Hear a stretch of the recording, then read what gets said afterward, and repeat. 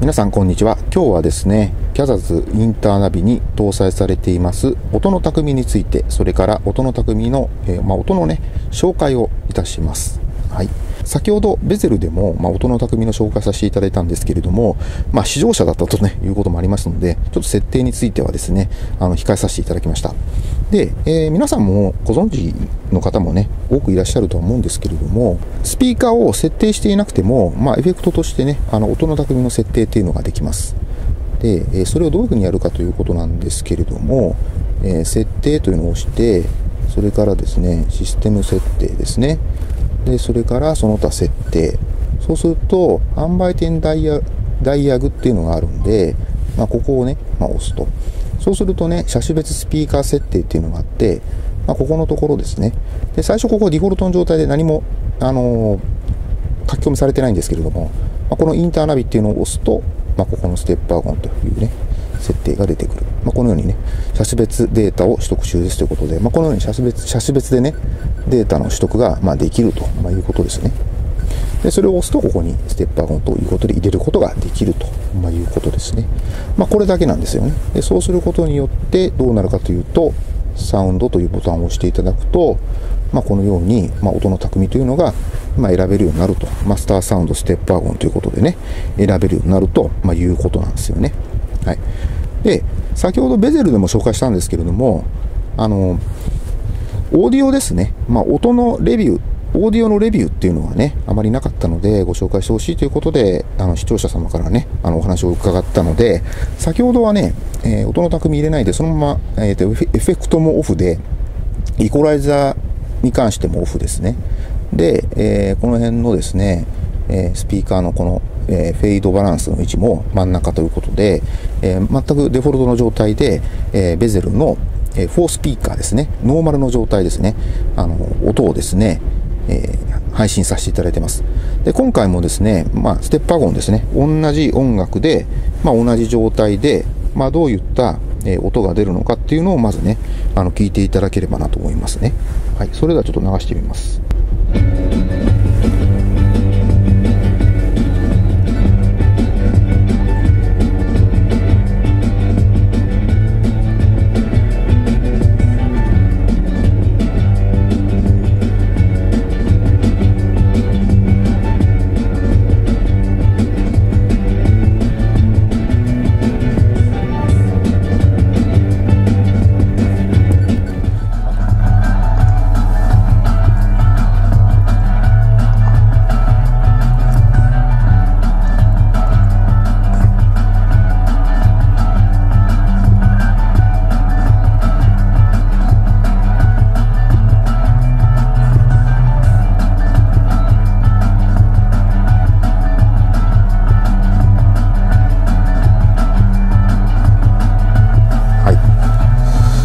マルに関しては、まあ、こういった感じです。で、まあ、後日ですね、プレイですね。あれはフロントスピーカー、それからサブフーファー、ウーハーがついていて、なおかつスイーターも4つついてるんですね。ハイグレードスピーカーシステムですね。あの、後日ね、ご紹介するんで、まあ、この音ですね。ベゼルの音、それからまあ、ステップワゴンですね。これ参考までなんですけれども、で、プレイのね、えーハイグレードスピーカーシステムですね、まあ、音を聞き分けていただければなと思うんですね。で、まあ、こういったエフェクトとかイコライザーとかね、このバランス関係なんかは全部同じにしないとですね、条件を同じにしないと、そのオーディオがいいか悪いかっていうのがわからないので、まあ、素性をとにかくね、比較しないとですね、まあ、この辺を全部ね、変えてしまうとですね、音が全く変わってしまうので、まあ、今回はですね、もう全部ね、あのオフの状態と、まあ、いうことで、まあ、比較をさせていただいています。ちなみに、音の匠を入れるとどうなるかですね。まあ、こんな感じでですねかなりこう低音が効いた音ででなおかつ、えー、音像っていうんですかね音像のその定位っていうのがねはっきりすると、まあ、言ったのがね、まあ、コンセプトとして、えー、ホンダアクセスのねエンジニアの方がですねチューニングをされたというふうにおっしゃってるんですけれども、まあ、この音の巧みをね入れるだけでも結構ね音が変わるんでまあ一回ですねこれをですねインストールしてみるっていうのもまあありかなという気は私の中ではしたりねしますね。うん。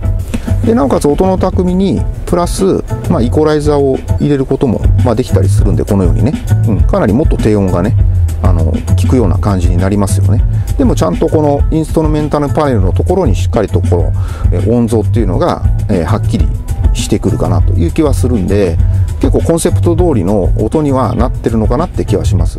うん、ただこの音に関してはね人によってこう聴感それぞれなのでなかなか評価するって結構難しかったりするんですよね。なので、まあ、そこはもう実際に聞いてもらって、まあ、音のね比較をねしてもらってもうそれは視聴者様の方で評価をすると、ま、いう形に、ね、なってくるのかなという気が私の中ではしますね。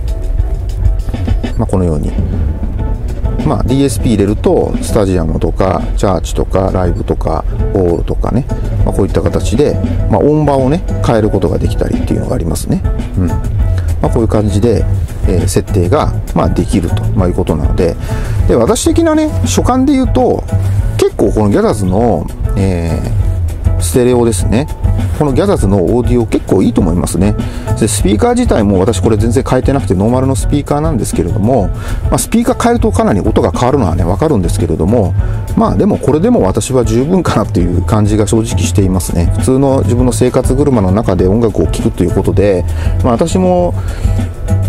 オーディオ結構凝ってあの今までお金をかけてきた車もあったりもしたんですけれどもこれはこれで十分納得できるかなと、まあ、どのぐらいのレベルかなっていうと、えー、まあ、家では BOSE のねえー、Bluetooth スピーカーを使って音楽を聴いたりするんですけれども、まあ、その Bluetooth、BOSE の Bluetooth スピーカーを聴いている人間でも、まあ、このギャザーズのですね、